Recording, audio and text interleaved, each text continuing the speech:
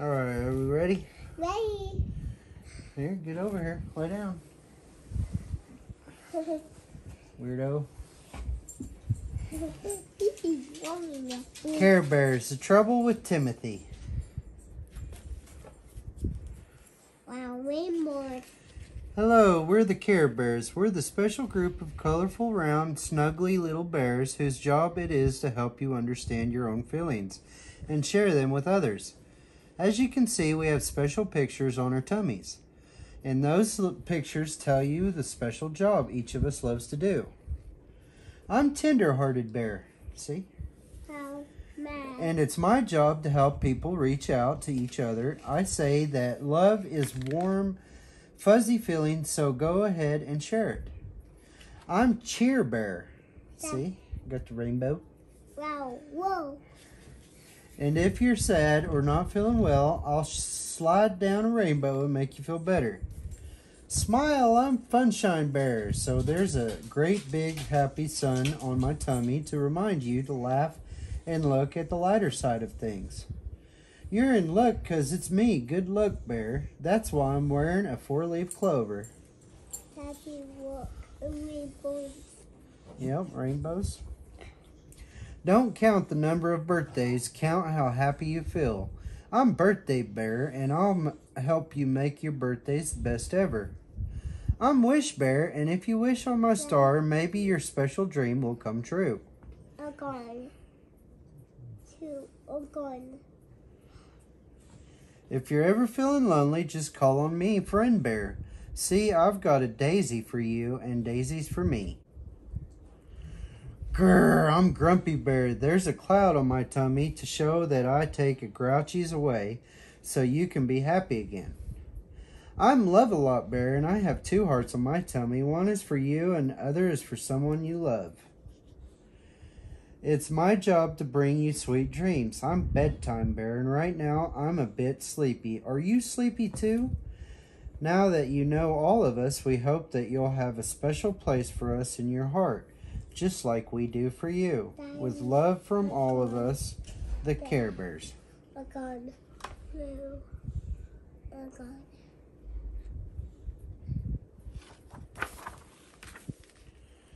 Okay, I guess that wasn't the story. Monday was not a good day. On Monday, Timothy made a paper airplane out of his arithmetic test. He sailed it across the classroom and landed it in the fish tank. Miss Pratt was angry. Who did that? Miss Pratt pulled the paper airplane out of the fish tank and unfolded it. The paper was wet, but she could still read Timothy's name on it. Timothy, I want you to write, I will not throw things in class ten times and bring it in tomorrow with your homework. I'm mad. Yep, she's mad. Timothy spent Monday after school digging for worms in the backyard.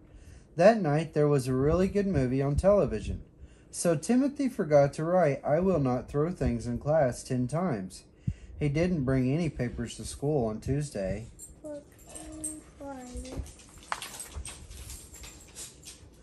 What Timothy did bring Tuesday was a little white box. He put it in Jennifer's desk. When Jennifer saw the little white box, she was very excited. Look, somebody gave me a present. I wonder what it is. Maybe it's a ring. Jennifer opened the box. Eek! It's a worm! Oh, yuck! Get it away from me! Jennifer leaped out of her seat uh, so fast she knocked the box off her desk. The worm fell out and slowly crawled across the floor. Room. Yep, that's the worm. All the children started yelling, Worm, worm, watch out for the worm. Miss Pratt had a bang on her desk with a ruler to quiet them down. Whose worm is that? she asked. It's Timothy's worm, everybody yelled. I see the worm. Miss Pratt sent Timothy to the principal's office. Wednesday was a terrible day when Miss Pratt turned to write on the blackboard. Timothy tried to be funny. He stuck out his tongue, crossed his eyes, and made a horrible face. Before he could stick his tongue back in his and uncross his eyes, Miss Pratt turned around.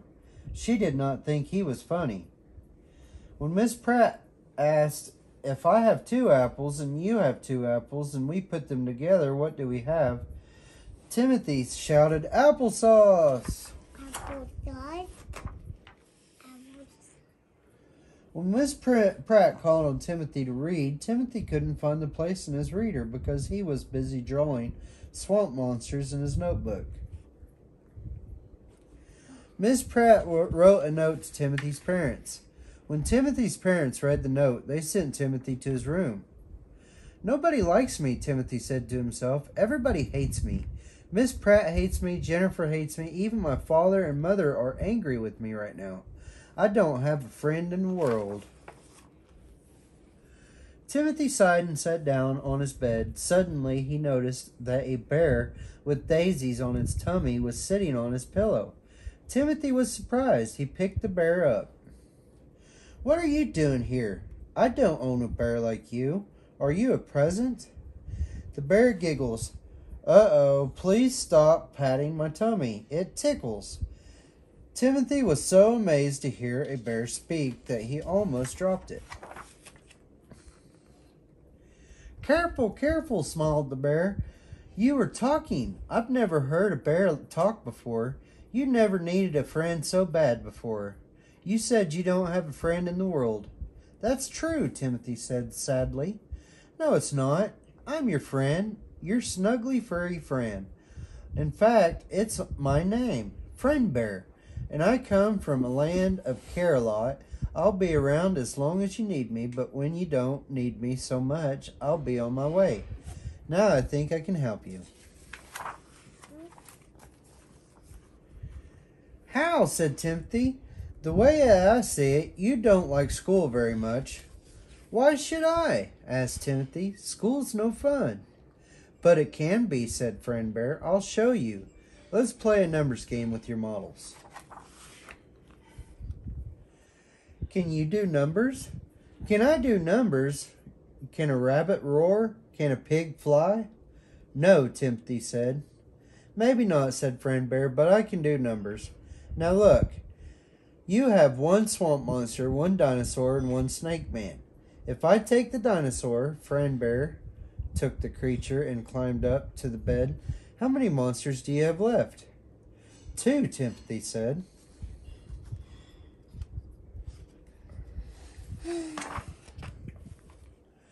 Very good. As easily as falling off a log. Friend Bear tumbled off the bed and rolled over to Timothy. When Miss Pratt asks you to do arithmetic, why don't you use your imagination? You don't always have to add apples. That's a good idea for arith- arithmetic, said Timothy. But what about reading? I don't like reading. We never get to read about really good things like rockets or monsters. Look a hat. Yeah, friend bear got a hat. Well, we'll play another game, said friend bear. Do you have a pencil and paper? Of course, Timothy got them out of his desk. This is a reading game, friend bear explained. Can you read? asked Timothy. Can I read? Can a snake tap dance? Can a cow roller skate? I doubt it, said Timothy. Me too, but I can read. Daddy a does. Yep. Friend Bear picked up the pencil and printed something on a paper. Can you read what it says? Timothy looked at the letters. No, not really. Friend Bear pointed out the words. It said, Swamp monsters from outer space meet the Snake Man. If that were a story in a real book, would you want to read it? Timothy's eyes lit up. I sure would, but you couldn't, Friend Bear said sadly. Right now, it would make any difference to you if the words were upside down like this. Then Friend Bear stood up on his head, and you'll never get to know them if you draw swamp monsters when you are supposed to be re- learning how to read. Timothy frowned. I never thought about it that way. Thanks, Friend Bear. He picked Friend Bear up by the leg and straightened him up. Oh, Friend Bear giggled. Heavens to fuzzies, that's another ticklish spot. Sorry, but Timothy couldn't resist giving Friend Bear another tickle. Friend Bear giggled, so did Timothy, and they both laughed together. Timothy found that he was feeling better. A gun. What? A gun. That's a dinosaur.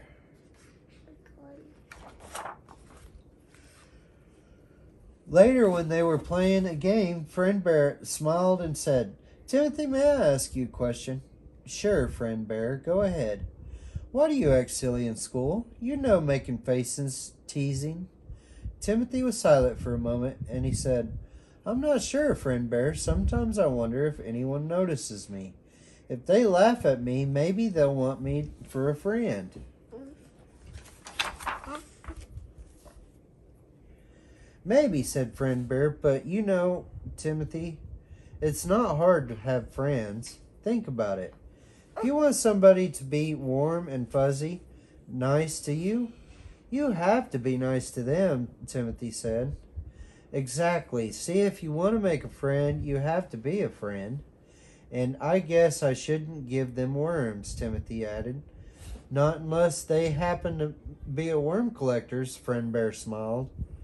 Before Timothy went to sleep that night, he thought for a long time about what Friend Bear, Friend Bear had said. Says, Yep, Friend Bear's up there, huh? Next day, Miss Pratt said, I have two chickens and you have two chickens. What do we have all together? Timothy almost said, Lots of eggs. But he didn't. He just pictured four fire engines instead of chickens and raised his hand. Miss Pratt was very pleased. He didn't draw pictures of swamp monsters during reading time, and when Miss Pratt called on him, he read every word right. Miss Pratt gave him a dinosaur sticker for his notebook. oh, wait. Sick. Yep, he got a sticker, huh? On Friday, Timothy started to stick out his tongue and cross his eyes at Jennifer. Suddenly, he remembered Friend Bear. Instead of making a horrible face, he smiled. Yeah. Jennifer looked surprised for a minute, then she uh-huh. smiled back. Friday was a very good day. Timothy couldn't wait to tell Friend Bear all about it. He ran to his room, but Friend Bear wasn't sitting on Timothy's bed where he usually sat. Timothy looked in his closet, he looked under his bed. He couldn't find Friend Bear anywhere. Then Timothy looked on his table. There, looking as bright and sunny as a new day, there were two daisies, just like the ones on Friend Bear's tummy. Timothy remembered what Friend Bear had said. But when you don't need me so much, I'll be on my way. Timothy picked up the flowers. Thank you, Friend Bear. I did it. I think I made new friend.